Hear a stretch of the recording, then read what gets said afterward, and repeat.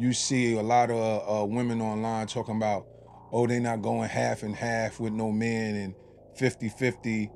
Um, and I just find that like, I just find that weird. I just, I just find the women who say that kind of just shallow, out of the loop, or just entitled. Um, or just maybe that's the way they grew up or something. Um, but we in different times, and different times call for different measures. I believe the more that's given, the more is required. The more you have, the more you should do.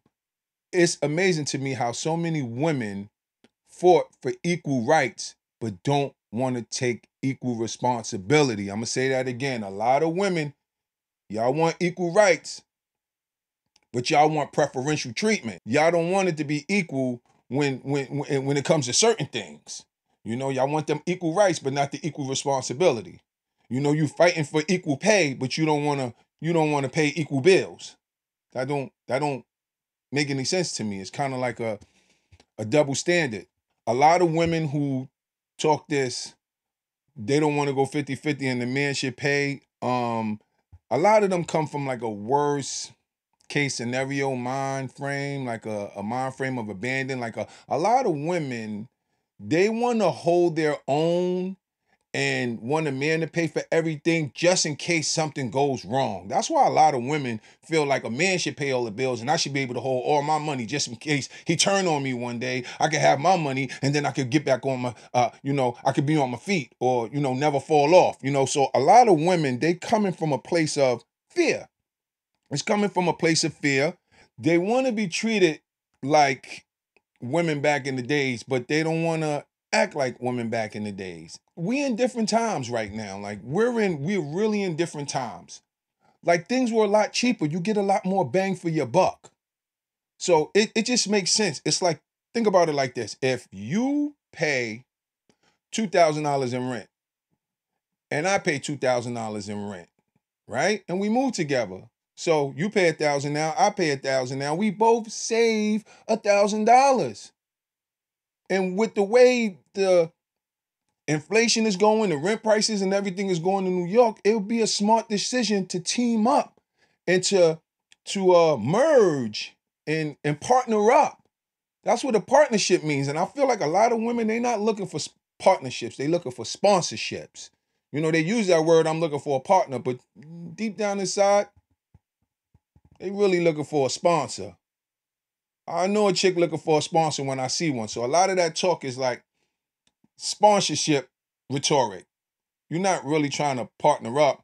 I just feel like nowadays, if if we don't team up, the average woman, because we talking about in general here, yes, there's some men who's gonna make a million dollars. Like if I made a million dollars, or if I made a half a million dollars and my girl made a hundred thousand dollars, then yes, I would probably most likely pay all the bills because I'm making significantly more than her.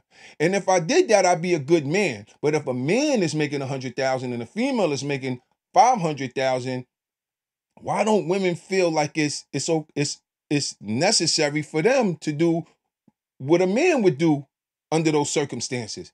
It's like a man take care of you, he is he's a good man. A woman take care of a man or help with certain responsibilities uh, then he's not a good man anymore. That just don't make any sense to me. And I think a lot of y'all are uh exaggerating with your demands.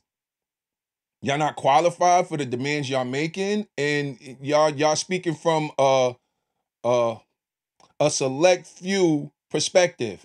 Because in general, we have to work together. We've always worked together as black people. That's how we made it in this country. As poor people, that's how we made it in this country by helping each other. Remember that saying, it takes a village to raise a child? That still applies. Okay, so it takes, it's to take us to make sure we're good. Now, if one of us is able to do it, I don't feel, um, I don't care whether it's a man or a female that's willing because, like I said, I feel the more you have, the more you should do. The more you giving, the, the more it should be required from you. You know, like You know, it's different if you was paying a thousand dollars in rent and I'm paying four thousand dollars and then I tell you to move with me and we could go half and half, like now your bills just went up a thousand dollars. So that's a different case scenario. But for the most part, we're in general, the poor people, we're usually in the same financial bracket somewhat. You know, whether somebody's making 60 and someone else is making 100. But I feel like if someone's making $100,000, someone's making 100,000, someone's making 200,000, I feel like the person with the 200,000 should naturally do more because they have more. Now, to what extent, it depends on how it's the dynamics. But a lot of times, a company, we have to start looking at relationships like a business. And I'm going to do a whole thing on that. Like, is your relationship really standing on business? Because a relationship is a business transaction. You know, when somebody uh talk about your, your relationship or what you're going through, what's the first thing you say? Mind your business. That's not your business. So we've always known that relationships are business.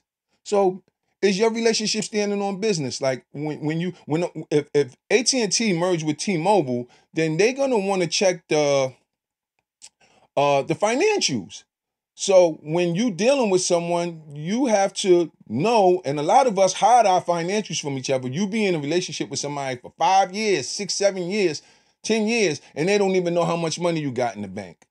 They never seen your bank account. That's not a real partnership because a real partnership, the other party will want to see your financials. They want to see your tax returns. They want to see how you've been dealing with yourself over the past few years, or else they wouldn't want to do business with you.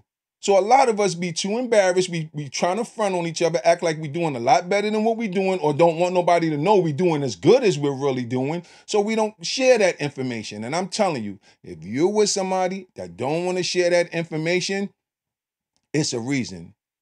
They acting like they doing they they might be doing more than what you believe they're doing, or they might be doing a lot less. But in any event, I don't feel there's anything wrong. We're going 50-50. I'm the type of man I'd rather pay all the bills if I had it. If if I have it like that, then yeah, I I I prefer that. But you know, um I'm I'm I'm not against going 50-50 with a woman and I don't think especially in today's times that makes it that makes me any more less than a man or makes you any more less than a man because you splitting bills and I don't and and and if if you judging a man based on whether he could provide everything for you, I'm gonna leave it like this. A dollar saved is better than a dollar earned because you didn't have to do anything to get it. I'm gonna say that again. A dollar saved is better than a dollar earned. If I can't give you money, the next best thing is saving you money. If I gave you a thousand dollars, you got a thousand dollars. But if I saved you a thousand dollars, isn't that the same as giving you a thousand dollars? And we're gonna leave it at that. Y'all stay woke, man. 50-50 love. She know my name now, but she like to call me Mr. Don't Play Around. Cause she know, as soon as I walk through that door, I throw my clothes on the floor like I'm James Brown. Hey! This ain't nothing new, baby, I've been smooth. I one two step, then I spin move. But I was loving that, and your bubble fat. So I'ma double back and run another lap. We can start where we stopped at. You was topping me off, now let's see if you can top that. Dame mama, dame agua, the big dada, el plaga.